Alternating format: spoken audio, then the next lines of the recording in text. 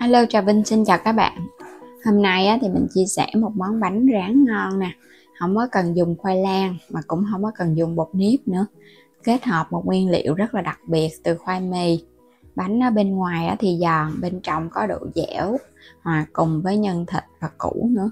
Ngọt đậm đà và ngon nữa chống ngán. Bây giờ á, mời các bạn mình cùng vào bếp để thực hiện nha. Ở đây là mình có khoai mì cũ nè khoai mì này là mình mua cái loại khoai mì màu vàng. Mà mình lột vỏ xong thì các bạn nhớ ngâm nước khoảng tiếng cho nó loại bỏ cái chất mũ độc ở trong khoai ha. Mình sẽ cho vào trong cối sinh tố để mình xay ha, cho nó nhanh. Hoặc là các bạn dùng cái đồ mài mình mài. Cho nước vô để xay cho nó dễ nè. Xay cho nó mịn xong thì các bạn cho qua cái à, miếng vải mùng á. Cái à, mình à, dắt nước cho nó khô ráo trở lại thì mình cho nước á, nên dễ sai thì cái bước này á, mình chịu khó mình dắt một chút. Cái phần nước này để yên nửa tiếng cho nó lắng bột. Phần khoai mì á, mình dắt khô thì á, mình sẽ thu được cái hỗn hợp vậy nè. Nó sẽ khô ráo nó không còn nước nữa. Sau khi mà cái nước này á, mình để yên nửa tiếng bây giờ các bạn chắc hết cái nước ở trong ở trên á mình bỏ đi ha ở bên dưới á, là tinh bột của củ khoai mì mình sẽ cho hết vào cái phần khoai mì hồi nãy mình bắt nước. Cho vào vậy á khoai mì của mình nó mới bột ngon. Rồi bây giờ các bạn sẽ nhồi nó lại nha cho nó đều bột. Cái phần à, nước này nếu mà có thời gian nhiều á mình để một tiếng thì á, nó lắng nhiều cái tinh bột hơn. Tại vì á, nếu mà các bạn không có cho cái phần bột này vô thì khoai mì ăn nó không có ngon đâu rồi mình sẽ lấy ra khoảng 300 gram khoai mì nha. Mình thêm vào đây 100 gram bột mì đa dụng. Các bạn sẽ thêm vào đây một muỗng canh đường. Thêm nửa muỗng cà phê muối. Rồi, cái mình trộn đều lên. Thì cái bột mì đa dụng giúp cho cái vỏ bánh của mình nó giòn và nó có độ xốp. Còn các bạn dùng bột năng thì nó sẽ hơi dai ha. Mình trộn cho thật đều thì nếu có hơi khô thì mình cho thêm chút nước, còn không có khô thì thôi. Cái lượng nước cho vô đây rất là ít nha, thì mình nhồi cho nó mịn. Các bạn đừng có cho nhiều quá, tại vì một chút quá đường nó còn tan ra, nó sẽ làm cho khoai mì của mình bị nhão á. Nên mình cho một chút thôi, cái mình nhồi đều. Phần khoai nó đã quyện thành khói vậy nè. Có cái bột mì vô thì nó dẻo lắm. Mình nhồi đến khi nào mình thấy vậy là được rồi đó, mình để qua bên phần nhân ở đây thì mình dùng thịt nạc xay nha, mình dùng nạc vai heo quá xay ra. Củ sắn thì một chút nữa mình dùng nửa cái củ này thôi. Một ít hành lá, rửa sạch. Củ sắn thì các bạn dùng nửa củ là nó vừa với phần bánh. Mình sắc sợi ra cho nó nhỏ nhỏ vậy nè, cho vào nhân thì một chút nữa nhân nó mới đều. Rồi xong rồi các bạn sắc hạt lựu lại ha.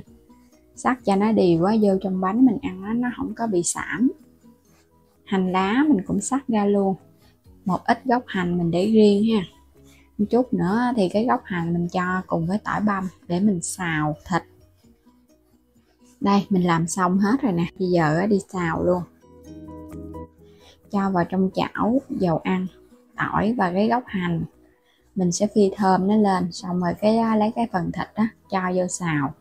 Mình xào cái phần nhân này là thịt nó sẽ nhiều hơn, còn cái củ sắn nó ít à thì nó mới kết dính ngon. Xào cho săn nó thì các bạn cho củ sắn vô luôn. Phần củ sắn này mình dùng khoảng 150g thôi, sắc hạt lựu là nó vừa xào sơ qua cái mình nêm nếm. Mình nêm vào đây muỗng canh đường, muỗng cà phê hạt nêm, tiêu xay, hành lá, rồi xào đều lên nha. Cái hỗn hợp của mình nó sẽ có cái vị mặn mặn ngọt ngọt chứ nó đừng có quá mặn, ăn không ngon.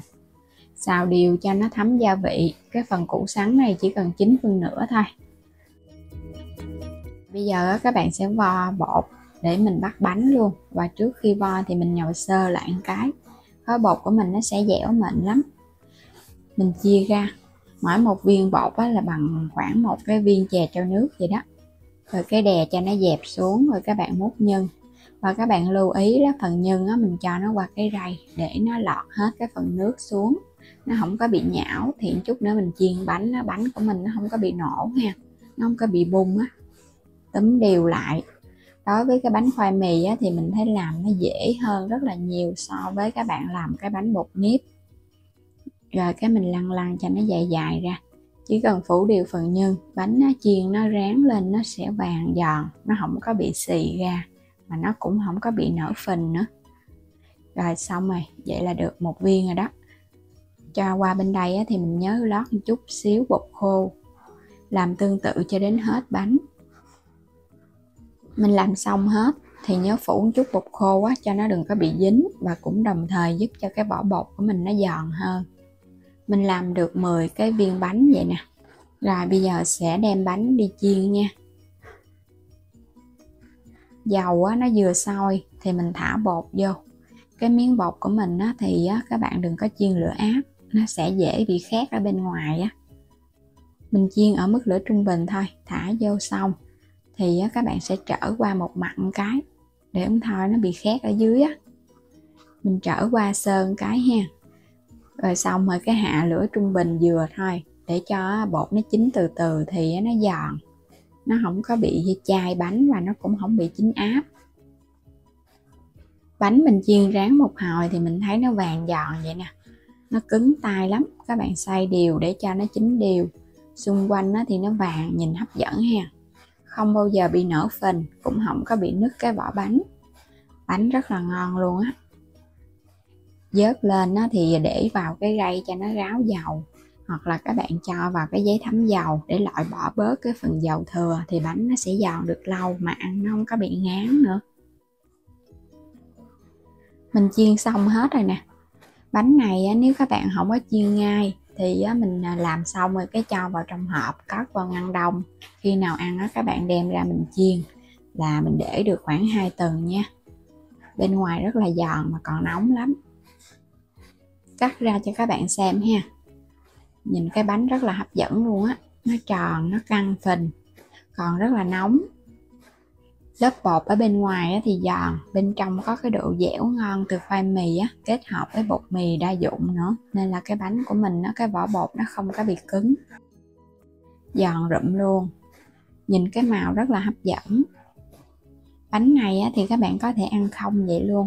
Còn nếu mà mình thích có thêm rau á hoặc là nước mắm chua ngọt á thì mình cho thêm dưa leo rau thơm. Rồi cái các bạn chan thêm nước mắm chua ngọt lên. Ăn á, thì nó no luôn. Còn ăn không chơi vậy á, thì vẫn ngon luôn ha. Hoặc là mình chấm thêm chút tương ớt cũng hấp dẫn nữa. Đến đây á, thì mình chúc các bạn ngon miệng với món bánh khoai mì rán giòn rụm này nha. Đừng quên đăng ký kênh ủng hộ alo trà vinh. Xin chào tạm biệt và hẹn gặp lại các bạn ở những video tiếp theo.